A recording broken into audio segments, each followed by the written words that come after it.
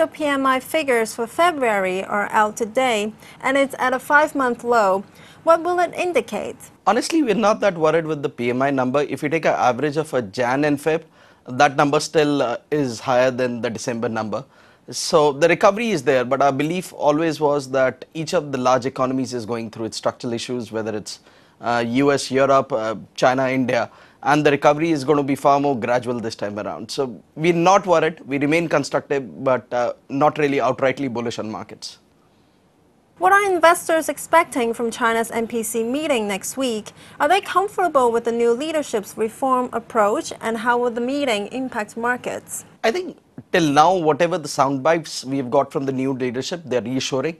But we need to see more action, more action towards, let's say, interest rate liberalization, proper channelizing of capital in the economy, because clearly there's a belief that capital allocation has been a big issue with the economy. If we see from November onwards, the off-balance sheet growth has been slightly worrisome. I mean, Jan number was close to 25%. So you need to see proper allocation of capital in the economy. Outside that, you need to see a lot of lot of steps to move from investment-based uh, growth to a more consumption-based growth through more tax rebates and uh, channelizing again uh, financial savings better uh, towards insurance products, which are long-term healthy products.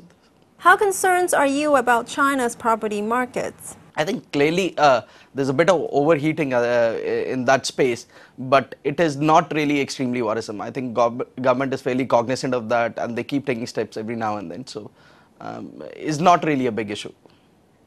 What is the risk of a currency war breaking out as the yen continues to decline further and as Haruhiko Kuroda is appointed BOJ governor?